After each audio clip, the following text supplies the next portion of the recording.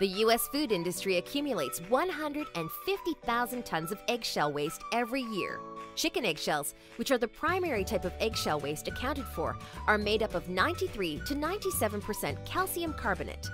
In addition to calcium, nitrogen, and phosphoric acid. These nutrients make eggshells an ideal choice for garden use. Here are six reasons why you should not throw away eggshells. 1.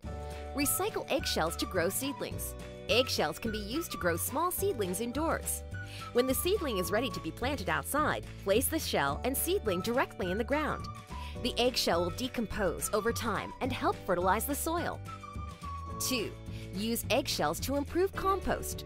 Gardeners frequently add lime to compost to correct acidity problems in garden soil. Lime is made up of calcium carbonate, which is the main nutrient in eggshells. Rather than purchase lime, recycle eggshells to amend compost. Crush eggshells and add them directly to the compost. To decrease the decomposition time, dry the eggshells in an oven and grind them using a blender before adding them to the compost. 3. Recycle eggshells as fertilizer for the garden. Eggshells contain calcium phosphorus, sulfur, and potassium, which help make plants healthy. Rinse eggshells. Allow the eggshells to dry and place them in a bowl or large container. Grind the eggshells using a pestle, which is a handheld tool used for mashing or grinding substances. If you do not have a pestle, grind the eggshells in a blender.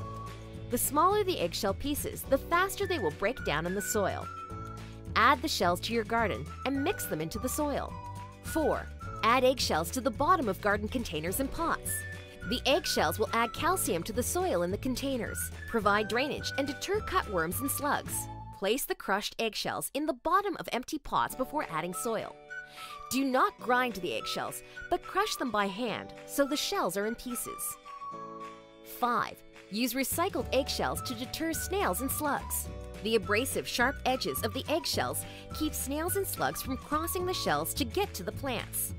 Crush eggshells into pieces do not grind the shells, but crush the shells by hand.